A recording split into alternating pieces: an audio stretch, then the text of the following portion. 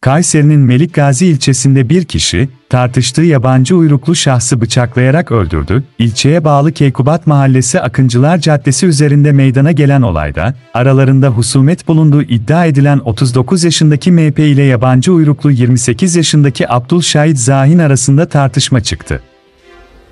Çıkan kavganın büyümesi üzerine MP yanındaki bıçak ile Zahin'e saldırdı. Şahıs ağır yaralanırken, ihbar üzerine bölgeye polis ve sağlık ekipleri sevk edildi. Yapılan ilk müdahalede yabancı uyruklu şahsın yaşamını yitirdiği belirlendi.